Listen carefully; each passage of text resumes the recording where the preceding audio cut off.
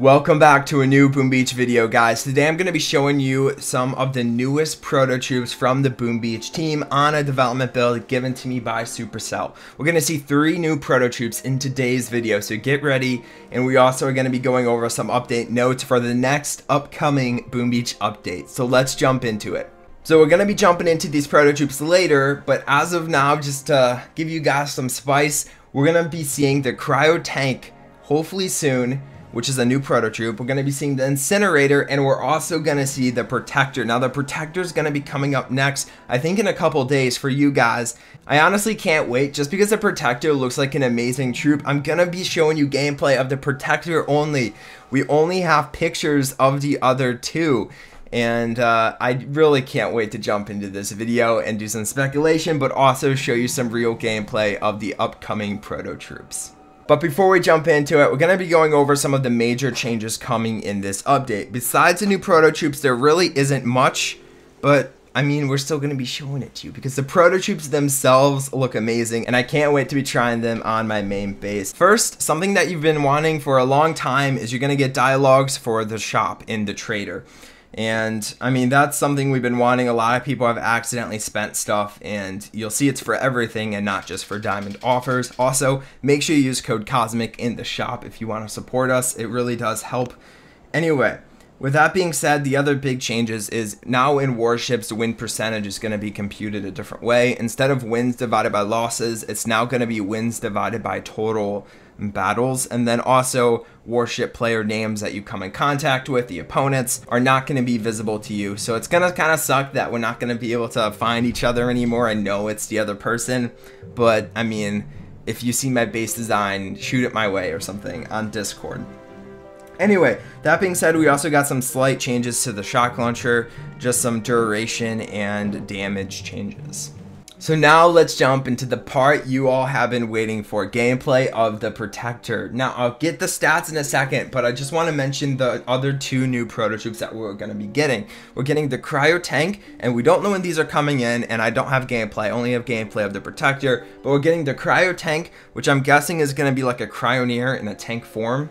And then this is the troop I'm waiting for, the Incinerator. It looks like a beefed up Scorcher, like I can't wait until this comes out into the game. Anyway, the Protector. Here's what's going to happen. She's a passive troop. If you honestly thought the Protector wasn't going to be a passive troop, I don't know what you're thinking. This girl is from the tutorial. I think she's called like the tutorial girl or the native or the islander or something. But she's now going to be a troop you can battle with. So here's her stats. At level 22, she has very little health. She costs a lot to train.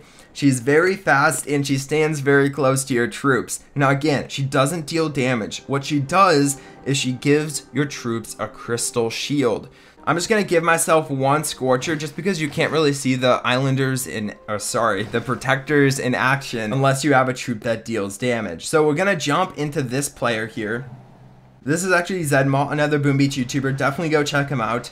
And I'm gonna just drop one boat of these islanders and you'll see they're tossing or protectors. I don't know why I keep calling them islanders. You'll see they're tossing uh, a shield around the Scorcher. Now their movement is a little messed up. We're actually gonna shock the shock launcher. Zedmalt has a pretty good base on me right now. But they're gonna be giving your Scorcher a crystal shield and every time they fire at your Scorcher they're gonna be giving it a new shield. So if you don't know what a crystal shield is Basically, it's a Dr. Kavan, or originally was a Dr. Kavan ability, but since it moved on to just a Gunboat ability coming out during special events.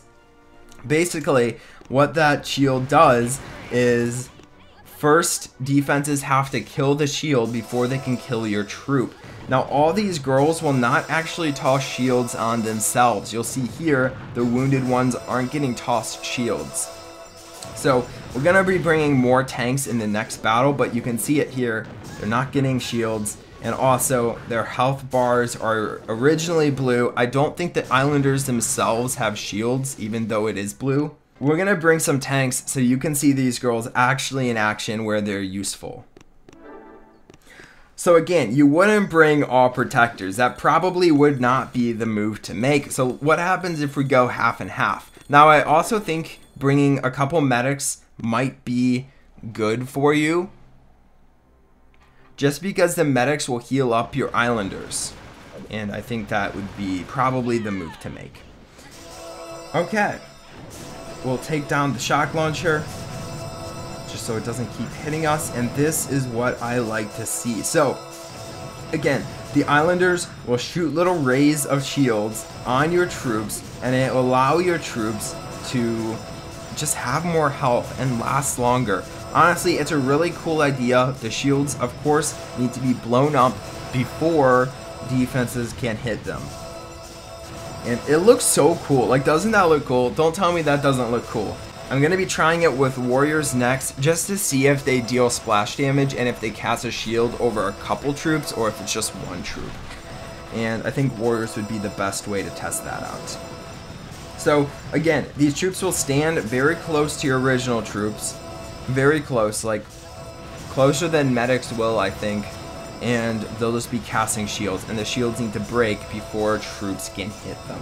So you can see my tanks are honestly lasting a really long time. I've only lost a couple, but I am losing quite a few amount of my protectors. Just because they don't have that much HP, they die really fast, and it seems like their their walking style is a little weird. It seems like every prototype walks a little bit weird. They're not as polished, or maybe that's just how they're supposed to be. They walk like the Cryoneer, if you need a troop to compare them against. So now let's try all warriors and one boat of the protectors to see if they deal splash damage. Now remember, this is a normal proto troop, which means that we'll just drop uh, some critters here to take out some mines. But this is a normal proto troop, which means it's the same upgrade system for these troops as it was for all proto troops. And if you don't know what that upgrade system was, I'm going to link a video right here it's basically explaining how proto troops work and their upgrade system. So I'm not really going to be jumping into that. So it looks like it does deal splash damage and it also the the shields drain by themselves and uh, I don't think Warriors is the move to make with these protectors. Honestly, if I had to give you my two cents for these protectors, I would say tanks probably of the better troops maybe like a grenadier strategy, bring a couple protectors, or like a bombardier strategy, just because the bombardiers will stand so far back, the protectors can just hit the bombardiers and not hit Bullit if you're using Bullit to tank. So there's a lot of different strategies you can use with these protectors and I honestly can't wait to keep playing with them when they come to the main base. But that's going to be it for today's video. If you liked the video, please drop a like. It really does help us out and it brings us up on the YouTube algorithm, so definitely do that. Also, make sure you use code COSMIC in the shop to help support us and go join our Discord server down below to talk to us. And I'll see you in the next Boom Beach video. Bye.